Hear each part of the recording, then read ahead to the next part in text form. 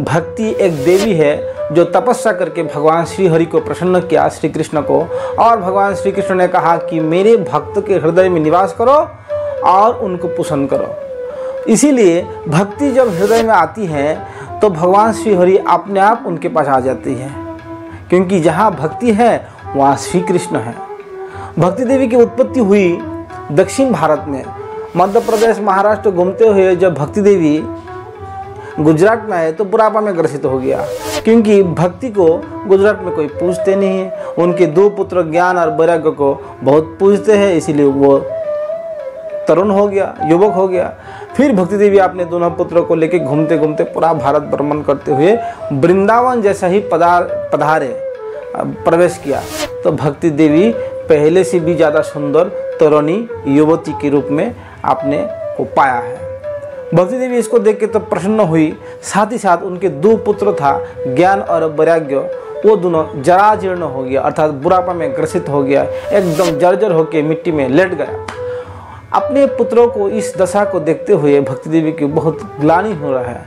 क्या है, हाय, मैं तो माता हूँ और मेरा दो पुत्र है। इस क्या हाल हुआ? तो मैं इस बात से ये कहना चाह रहा हूँ वृंदावन की महत्य इतना ज़्यादा है कि वृंदावन में भक्ति प्रबल है। भक्ति प्रधान क्षेत्र है, प्रेम प्रधान क्षेत्र है, भाव प्रधान क्षेत्र है। इसीलिए वृंदावन में ज्ञान और वैराग्य कोई पूछता नहीं है, उसीलिए वो उसका जराजीर्ण अवस्था हो गया। लेकिन दूसरा बात ध्यान देने का है कि कुछ भक्त लोग ऐसा कहते हैं कि नहीं, हमें सिर्फ़ प्रेम चाहिए, भक्ति चाहिए, हमें ज्ञान वैराग्य कुछ नहीं चाहिए। देखिए, भक्ति की पोषक बन के अगर आते हैं ज्ञान वैराग्य, वो सम्मानीय है। क्योंकि भक्ति के संतान के रूप में आती है। भक्ति की ही दो पुत्र माना गया, ज्ञान और वैराग्य। भक्ति नहीं आया और ज्ञान वैराग्य उत्पन्न हो गया, वो भक्ति के बाधक है। भक्ति आई और ज्ञान वैराग्य जन्म लिया, वो भक्ति की साधक है, साधने वाली भक्ति की। अर्थात वो ज्ञान और वैराग्य भक्ति को आगे ले जाने वाले हैं। लेकिन बिना भक्ति के जो ज्ञान है, वो डेंजर होता है, वो मायावादी ज्ञान होता है, वो भगवान से, कृष्ण के नाम से, धाम से दूर ले जाने वाले हैं, इसीलिए वो तेज है। भक्ति देवी आए और ज्ञान वैराग्य उत्पन्न हो, वो भक्ति के पोषक भक्ति को रोते हुए देखे नारद जी ने जब देखा भक्ति रोते हैं, रो रहे हैं तो नारद जी आके भक्ति देवी को आश्वासन किया और दोनों पुत्र को स्वस्थ करने का संकल्प लिया। लेकिन सारे कथा सुना दिया। इतिहास, महाभारत और वेद, वेदांत तो बार बार गीता पढ़े हैं, लेकिन भक्ति देवी के दोनों पुत्र जैसा तैसा चेतन तो हुई, आँख खुले, फिर वो बेहोश होकर गिर जाते थे। नारद जी को समझ में नहीं आया कि क्या करा जाए। दैववाणी हुई आकाश से। हे नारद जी, तुम्हारे उद्यम बहुत ही अच्छा है, लेकिन तुम सत्कर्म करो। सत्कर्म करने से वो संभव हो कि दोनों ठीक हो जाएगा। तो नारद जी ने कहा कि सत्कर्म क्या है तो बता दीजिए, हम वही कर लेंगे। तो बोला, किसी साधु से आप जाके पूछिए। नारद जी मन ही मन कह रहे हैं कि अच्छा मैं इतना समय से, उतना समय से वेद, वेदांत तो पाठ कर रहा हूँ कि ये सत्कर्म नहीं है। अभी कह रहा है कि किसी साधु से पूछो। नारद जी तो पूरा भारत का साधुओं को पूछा, लेकिन कोई साधु भी उनका ठीक ठीक आंसर नहीं कर पाया। उन्होंने छिन्न मन होकर भगवान बद्रीनाथ के पास जाना चाहा। बद्रीनाथ के पास जब जा रहे थे ऊपर, उत्तर की तरफ़ तो उनके चारों भाई, अर्थात सनक सनंदन सनातन सनत कुमारी चारों से मिले हैं। तो चारों को, चारों ने जब देखा कि नारद जी बहुत अप्रसन्न मन से छिन्न मन से वो कोई विचरण करते जा रहा है तो चारों भाई ने पूछ लिया, क्या महाराज नारद जी, आप तो भगवान के मानस पुत्र हो, आप श्रीहरि के प्रधान भक्त हो आपके मन में इतना ग्लानी, विषाद छाए हुए है? क्या बात है? आपके पास तो ऐसा कोई चीज़ भी नहीं है कि चोर ने चोरी कर लेगा, डाकू ने लूट लेगा। आप तो फक्कर साधु है। तो नारद सारे बातें खुल के बोले हैं इन चारों कुमार को। चार कुमार साधारण तो है नहीं, क्योंकि वो ब्रह्मा, वो भी ब्रह्मा का प्रथम संतान है। बटुक के रूप में रहते हैं। तो चार कुमार ने नारद जी को कहा कि, हे नारद जी, आप श्रीमद् भागवत का पारायण करो। भागवत अध्ययन करते ही इन ज्ञान और वैराग्य स्वस्थ हो जाएगा, भक्ति देवी की ग्लानी नष्ट हो जाएगी, भक्ति देवी भी प्रसन्न हो जाएगा। तो इस प्रकार जब चार कुमार ने नारद जी को ऐसा बताया, नारद जी ने कहा, मैंने उपनिषद, महाभारत, रामायण, गीता, वेद, वेदांत तो सब कुछ बार बार पढ़ा। वेद के अंदर ही सब तत्व है। वेदांत सूत्र के अंदर सब तत्व है। उसको पढ़ने से जब उनका चेतनता नहीं आए, वो ठीक नहीं हुआ बोले भागवत पढ़ने से कैसा हो जाएगा?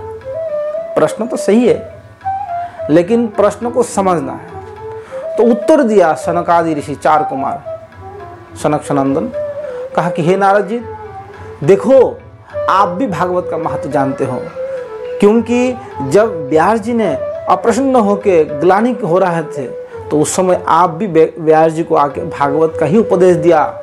व्यास जी भी आपको ही प्रश्न किया था कि मैंने सब कुछ रचना किया, लेकिन मेरा मन में प्रसन्नता नहीं आ रही है। मैं अप्रसन्न के रूप में बैठे हूँ मैं महाभारत रचना किया, वेद को रचना किया, चार हिस्से में बांट दिया, उपनिषद रचना किया, ब्रह्मसूत्र को बढ़िया से विस्तार किया, सब तत्व। लेकिन फिर भी मेरा मन अप्रसन्न है। तब आप भी उस समय उनको भागवत रचना करने के ज्ञान दिया। और आप आज ये बात भूल गया। इसीलिए हे महाराज, भागवत भले वो वेद वेदांत तो से ही आया है, वेद का सार है। देखो, आम कितना सुमिष्ट है, मीठा है है? आम पकने से कितना मीठा लगता है। लेकिन कोई कहे कि आम कितना मीठा है, अगर मैं उसका पेड़ को चबाऊँगा, उसका डाली पत्ताओं को चबाऊँगा आम के तो उस मिठास को उसमें नहीं मिलेगी।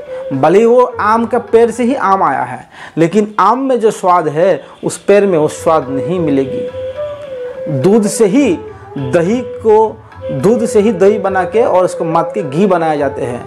लेकिन कोई कहे कि घी में तो बहुत कार्य होते हैं, दीपक जलाए जाते हैं, पुरिया तलाए जाते हैं, लेकिन अगर वो उस समय दूध, घी खत्म हो जाए तो उसकी जगह दूध से वो कार्य नहीं चलेगी। हालाँकि दूध का ही परिणाम घी, फिर भी घी से जो कार्य हो सकता है, दूध से वो कार्य नहीं होगा। इस प्रकार जब सनकादि ऋषि समझाया, तब उनको समझ में आया कि अच्छा भागवत कितना महत्व। तब सनकादि ऋषि को हाथ जोड़ के नारद जी ने कहा कि, हे प्रभु, आप ही लोग भागवत श्रवण करो, हम तो श्रोता बनते, आप वक्त बन जाओ। तो आनंद घाट में, अर्थात हरिद्वार से थोड़ा सा ऊपर आनंद घाट है, उस आनंद घाट में, हरिद्वार में श्रीमद् भागवत की सात दिन की सप्ताह कथा हुई है। तो इसका मतलब है कि श्रीमद् भागवत भले वेद से ही आए हैं। वेद का ही सार है। वेद से आए हैं। तो वेद से आने से भी वो वेद का सार है।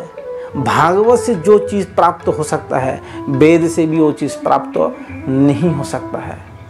जैसा कि समुद्र का पानी ही हम लोग बरसात के माध्यम से उसको प्राप्त करते हैं। सारे खेत खलिहान में वो बरस, बरसते हैं। जीवों के जीवन स्वरूप बन जाते हैं।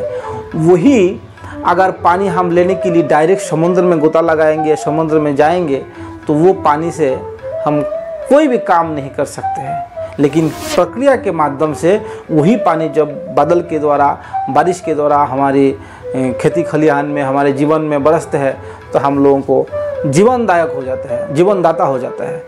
इसी प्रकार, शास्त्र अगाध है, वेद एक समुद्र की तरह खारा जल से भरा हुआ, उसमें कर्म, ज्ञान, भक्ति, उपासना सब कुछ है। लेकिन उसमें जो भक्ति रूपी सिद्धांत को उठाना, वो साधारण के बस बस का नहीं है। इसलिए महापुरुष लोग, अर्थात व्यास जी ने, सुखदेव गोस्वामी ने, हमको जिस प्रकार श्रीमद् भागवत उस वेद रूपी समुद्र से मत के उसका अमृत हमको दिए हैं तो उसी अमृत को ही हमें पान करना चाहिए। समुद्र है, समुद्र पानी का स्रोत है, उसका भी सम्मान है, लेकिन जिस कार्य को आप बरस बरसात के जल से कर सकते हैं, उस कार्य आप समुद्र के जल से नहीं कर सकते। इसी प्रकार जिस कार्य आप भागवत से कर सकते हैं, उस कार्य आप वेद से नहीं कर सकते हैं। वेद निस्संदेह हमारी शास्त्र का मूल नींव है। लेकिन हमारे लिए उपादेय, हमारे लिए सबसे ज़्यादा महत्वपूर्ण श्रीमद् भागवत। ये शास्त्र प्रमाण है। भागवत वेद का भी सार। इसलिए भागवत क्या है? आसान भाषा में सबको समझाया गया है। एकदम सही चीज़ समझाया गया है। इधर उधर घुमा के नहीं, बिल्कुल जो सार चीज़ है, भगवान श्री कृष्ण को कैसा भक्ति करे, कैसा भक्ति करके प्रेम प्राप्त करे, वही जीव का प्रधान लक्ष्य है।